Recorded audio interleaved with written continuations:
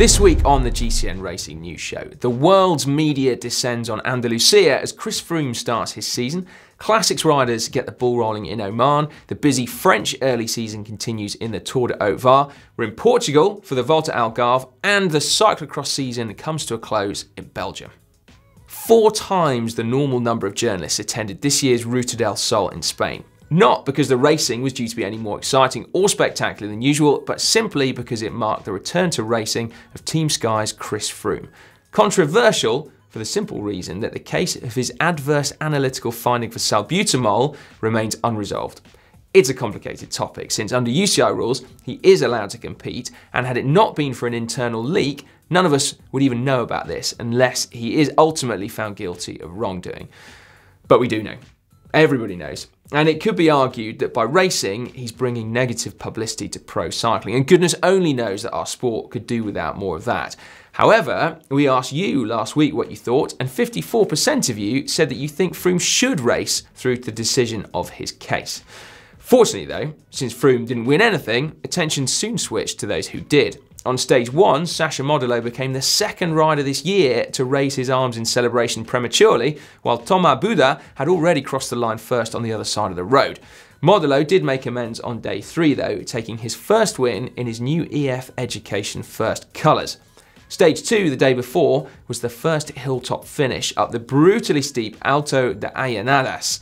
Tim Wellens did what he does best, attacking with just over a kilometre to go and showing the pure climbers how it's done. Almost. He was brought back before the line as Wout Poels timed his acceleration perfectly to take the win. Wellens did get his just desserts on stage 4 though, attacking at the bottom of the final steep climb along with Mikel Landa. The Belgian was far more at home on the cobbles, comfortably taking the stage win and with enough time over Poels to take the leader's jersey. Which he duly kept by finishing 8th in the final stage time trial, won by Team Sky's new recruit David de la Cruz. Interestingly, that 14 kilometre test took in some Strade Bianche style gravel roads, which we have to say look pretty cool. Well done to Tim Wellens though, he is always a fun rider to watch racing. And so it seems fitting to make him this week's Rider of the Week. So while Team Sky may have missed out on the overall in Andalusia, they more than made up for that with a particularly dominant display at the Volta Algarve, taking three of the five stages and the overall. The first uphill finish came on day two, Michał Kwiatkowski getting a fine lead out from Kenny Elissonde and Geraint Thomas to take his first win of the year ahead of Trek Segafredo's Bauke Mollema.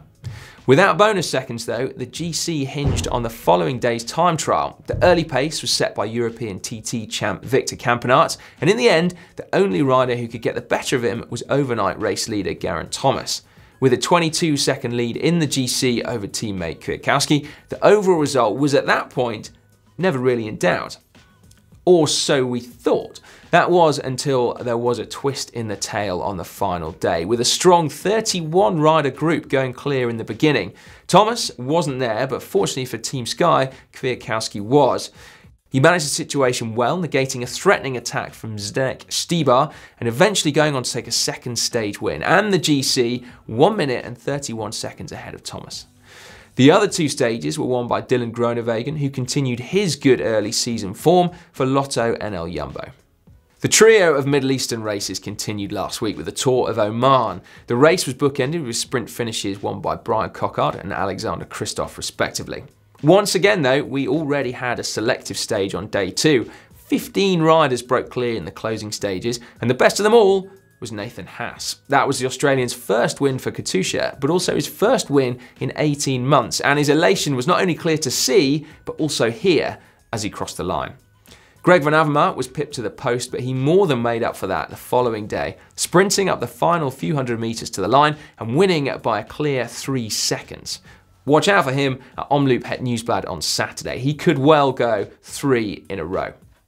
Magnus Cort Nielsen's consistency so far this season was rewarded with a stage win on day four. Pretty amazing when you consider that he broke his collarbone in December, but it was stage five up Green Mountain that would, as ever, decide the race. And it was Team Astana that crushed it. At one point, there were just three riders remaining at the front, all from that team.